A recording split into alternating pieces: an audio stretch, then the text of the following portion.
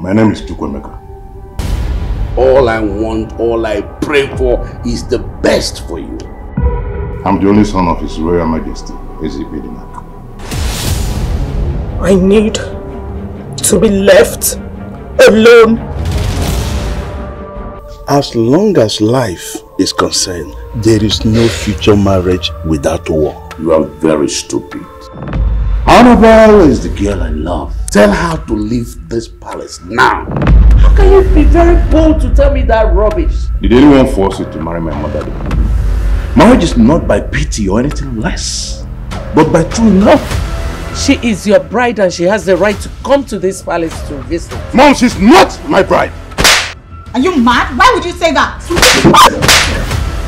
I don't know when people will stop treating me like a breast-suckling child. What has come over you? Mom, nothing has come over me. I will embarrass you now and I'll send her guards! Mom, I don't like this. From the onset, I asked that boy if he knew what he wanted. Go around the nook and cranny of this village. They will tell you who I am. Send message across to her to desist from the prince. What has come over you? Talk to me. Why did you embarrass that innocent girl? Did I invite her to the palace? Does it matter who did? You think you can create a thunder between the prince and I? This place is down 34 infantry. Push we! War!